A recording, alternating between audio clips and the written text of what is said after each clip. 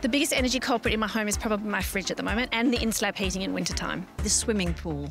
We don't use it often No, enough, we don't. But you've got to run the filter every day. Probably the AC, honestly, because it's really hot where I live, and so we have to use it, unfortunately, a lot there.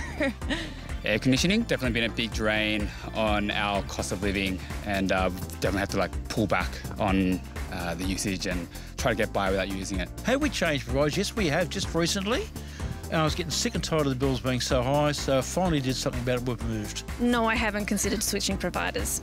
I haven't, but I did see with my energy provider, I do get a discount if I do, so it's something I'd be open to considering. Yeah, we've had a look around, um, but yeah, it just seems like they're all so super high. There's definitely a bit of a barrier to entry to see uh, how we can compare.